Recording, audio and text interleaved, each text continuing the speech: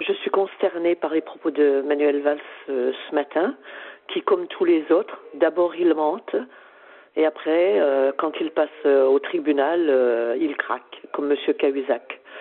Manuel Valls euh, a dit ce matin que les journalistes euh, qui accusaient les députés et autres sénateurs de collusion avec le Qatar, euh, on n'avait pas la preuve de ces propos, comme si euh, Christian Chenot et Mal Bruno étaient des journalistes de Voici. Euh, non, ce sont des professionnels qui ont toujours bien fait leur travail, je pense. Donc Manuel Valls a dit qu'il n'avait pas de preuves. Et ben, si au contraire, je pense qu'ils sont toutes les preuves. Donc j'imagine que quand ils sortiront les preuves, euh, ben voilà, ils commenceront à pleurer, à chercher des excuses fallacieuses. Voilà. C'est toute ma colère d'aujourd'hui. Au revoir. Oui, salut, je viens d'écouter le, le reportage euh, des euh, Pinson Charlot. Euh, c'est vraiment intéressant. C'est exactement ça. Moi, comme tu sais, j'ai vécu à Monaco euh, et euh, c'est vrai qu'il y a une ségrégation. Ils se mettent entre eux parce que c'est entre riches qu'on apprend, qu'on avance, puis euh, c'est entre riches aussi qu'on se marie, c'est entre riches qu'on se fréquente et c'est vraiment un ghetto. Je me souviens aussi d'avoir été livreur de pizza dans une autre vie dans certains immeubles, euh, déjà, il fallait, on pouvait pas rentrer en étant livreur de pizza par l'entrée principale parce qu'on ne pouvait pas fréquenter le même ascenseur qu'un riche. Parce qu'il ne fallait pas que les riches voient qu'il y ait des livreurs de pizza de classe euh, inférieure à eux. Donc, il fallait passer par le garage, donner sa pièce d'identité à un gardien d'immeuble euh, qui faisait son job comme on lui avait demandé. Bref, je trouvais ça euh, incroyable et, euh, ça pourrait être un bon sujet de reportage. À Monaco, euh, les riches ne veulent pas vivre dans des cages à poules. Pour ne pas payer d'impôts, ils doivent vivre au moins six mois par année euh, dans Monaco. Et Monaco fait 1,6 km. Donc, euh, il n'y a pas de villa, il n'y a pas de. Et quand on est milliardaire, on a envie de vivre, en règle générale, ils ont envie de vivre dans une villa avec piscine, tranquille, avec pas mal de. Sauf que on peut pas. Donc, qu'est-ce qu'ils font? C'est qu'ils vivent euh, euh, sur les hauteurs de Monaco, euh, mais ils ont un appartement à Monaco officiellement pour ne pas payer d'impôts. Et donc, officiellement, ils y vivent toute l'année. Sauf que c'est absolument faux. On le sait, on les connaît tous. Puis nous, on les laisse faire, hein, évidemment. Je suis pas mal sûr que le gouvernement socialiste est au courant de tout ça, mais qu'il en a rien à carrer. Donc, euh, c'est ça. Voilà. Euh, c'est pas comme de Montréal. Je vous embrasse. Merci encore pour l'émission. C'était génial. Voilà, donc je m'appelle Marianne, je suis prof de philosophie au lycée de Foix. Je vous contacte pour vous informer que je suis passée le 11 octobre en procès suite à ma participation l'année dernière à une manifestation lycéenne contre la loi El Khomri. Bon, très chouette manif d'ailleurs, hein, très dynamique, beaucoup plus que celle que l'on peut faire derrière les camions sonos des syndicats. Les jeunes ont débrayé des cours, ils ont lancé quelques œufs sur le local du PS, enfin bon, la routine quoi. Enfin, ce qui était la routine il y a quelques années, parce que visiblement ça a bien changé. Puisque ma participation à cette manifestation me vaut donc euh, trois inculpations organisation d'un rassemblement non déclaré, outrage à agent, incitation à la rébellion. Il faut dire que j'étais la seule adulte ce jour-là. Hein. On est 80 profs dans mon lycée, mais il n'y en a qu'un qui, à part moi, accompagne les manifs lycéennes. Il n'était pas là ce jour-là. On a été suivis par, des renseignements, par les deux personnes des renseignements généraux tout du long. Et voilà, je me retrouve donc avec ces trois chefs d'inculpation. Donc le procès a eu lieu le 11 octobre. Il n'y avait pas trop d'éléments euh, concrets euh, sur les faits qui m'étaient reprochés, donc j'ai eu droit à un procès politique sur mes idées, sur ma personnalité, enfin quelque chose de très inquiétant, quoi. Le délibéré aura lieu le 6 décembre, donc on attend ce résultat.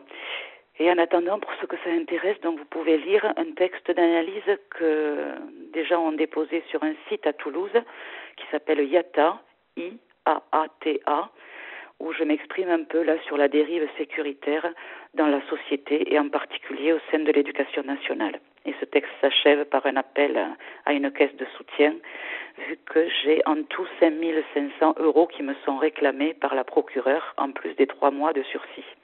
Mais on fait un résultat le 6 décembre. J'espère que tout cela va baisser, évidemment. Merci. Au revoir.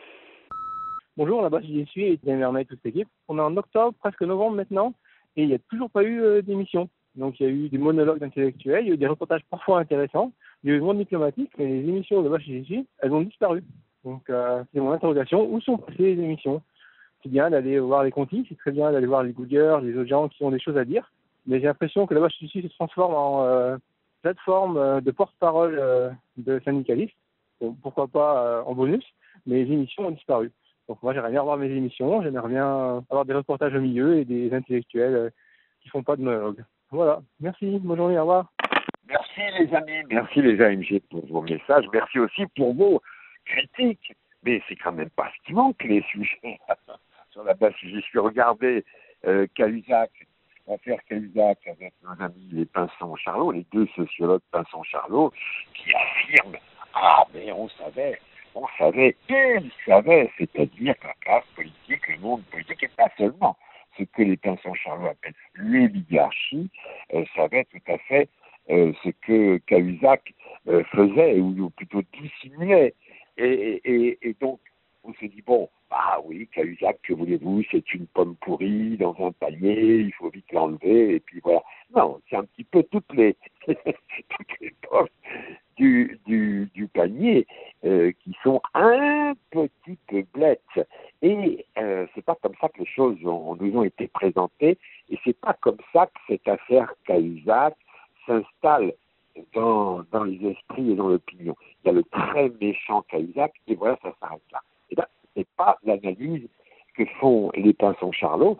Et puis, il y a notre Gérard Mordilla qui s'attaque à nouveau au commandant Cousteau. Déjà, euh, euh, il avait éreinté euh, rétrospectivement le monde du silence, le chef-d'œuvre du, commandant Cousteau qui avait baptisé un film naïvement dégueulasse, ça nous avait vu fallu des, des, des, centaines de messages et des milliers, des centaines de milliers de, de. Mais oui, tout à fait. Et voilà, là, il en passe une deuxième couche et on apprend au passage, c'est quand pas mal du tout, c'est que le film Odyssée euh, qui sort et qui raconte l'aventure du euh, commandant Cousteau a dû avoir recours à des poissons numériques, des poissons virtuels, parce que bah, il n'y avait pas assez de poissons là où on était censé euh, les filmer. C'est quand même un symptôme un peu préoccupant. Voilà ce qui se passe sur la base où j'y suis. On continue, tout va bien. On attend chaque jour avec impatience vos messages au 01 85 08 37 37. 01 85 08 37 37. Bonsoir Daniel, c'est Sylvain. Je t'appelle pour te faire part euh, de deux constatations que j'ai pu faire sur mon lieu travail, une bibliothèque euh, universitaire, et où euh, ben, déjà d'une part il y a des femmes de ménage des Comores qui sont venues il y a quelques années, qui vivent difficilement et qui ici sont euh, mobilisé par un prestataire euh, de l'université pour euh, nettoyer toutes les collections de la bibliothèque qui a vu son plafond s'effondrer durant l'été. C'est un travail colossal, c'est un travail aussi difficile où les, les salles de ménage respirent de la poussière à longueur de journée et cela sans aucun équipement et, et, voilà, elles se feront exploiter de bout en bout. on leur demande de, de redoubler d'efforts pour éviter de payer des heures supplémentaires ou d'embaucher. Voilà et cela au vu et au su de, tous mes collègues et de moi-même qui, commencent à sérieusement euh, envisager d'appeler l'inspecteur du travail. Et puis, concomitamment à, cela, je suis tombé sur euh, un bouquin d'Alain Finkielkraut, Identité malheureuse, euh, qui était classé en sociologie générale. Voilà, je, me suis empressé de changer la classification de ce document, mais ce qui dénote pour moi de vraiment un écart qu'il y a, enfin un écart monumental entre ceux qui sont présentés comme des, intellectuels et puis ce qu'il en est véritablement quand on voit le contenu euh, qui est pauvre, qui est digne d'une conversation de, comptoir. Et, voilà, moi je, qualifierais plutôt cela euh, avec Zef Ternel d'anti-lumière. Ce sont deux anecdotes qui montrent le décalage entre l'univers médiatique et ce qui le monde est vraiment et l'exploitation quotidienne qui est faite au sein de ce monde-là. Eh bien, écoute, euh, merci encore pour tes émissions. La lutte continue, on lâche rien. Allez, ciao. Bonjour. Le papier canson, celui des cours de dessin du collège, celui de notre adolescence, celui de notre âge adulte et sans doute de notre vieillesse. Le papier canson vient d'être racheté par une boîte italienne. C'est triste.